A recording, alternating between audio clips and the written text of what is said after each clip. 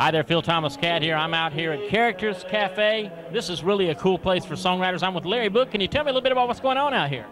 Well, first of all, we support songwriters, and Frank Brown, my wife and I are songwriters, so we have a good time with them. You know, I, we, we named this place Characters, you know, Perdido Key. We thought very strongly about maybe naming it Songwriters Cafe, you know, Characters Songwriters Cafe, but we did not.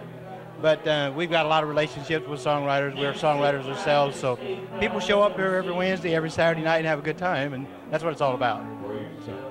I see you've got a packed house, and I heard some good things about this place too. I heard that um, Joe Gilchrist has some nice things to say. What, what was was he here last Wednesday?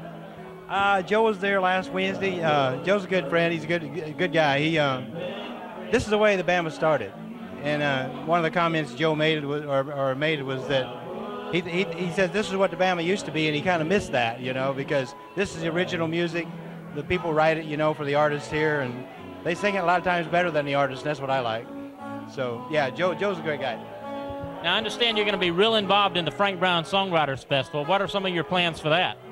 Well, first of all, we host the uh, Wednesday night. Uh, the Wednesday night locals night is a, that's the biggest night of the festival for us, and uh, we're going to have a spotlight out here, you know, and we're going to have a stage and and all the local people they, they get to come in here and they do two songs each.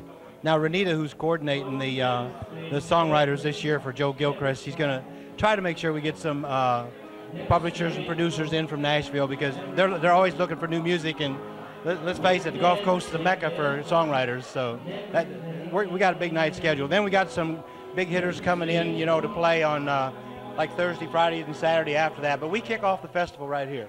So this, this is a good place for people to be. That's really cool. Now, now I know that you want to you want to increase this thing. It looks like you're about a packed house now, but are, are, you still calling for more songwriters to come out and perform? Oh, absolutely. But the thing is, uh, people were all coming out on Wednesday nights, and that was great. We were starting to run so late, though, so we've invited people to come on Saturdays, too. Now, Friday nights, we usually book somebody in from Nashville or New Orleans, or a lot of times the local people here. A lot of great writers and singers here, so but we, we just tend to kind of lean toward original music here, and it's just a lot of fun. And uh, the people love it. I tell you what, this is a wonderful thing. I, we appreciate what you're doing for the community and the songwriting and the music community here, and um, thank you very much. Well, that's okay. I, I, I want to thank Michelle. You know, she kind of got a hold of us, and I also want to thank you because uh, what you're doing, you know, every, anything that supports writers, you know, I think I think it's an important thing. So what you guys are doing is a great job, and, and I know that a lot of people appreciate you. We do. So, so I wanted you to know that. Well, thank you very much. We appreciate it. Thank you much.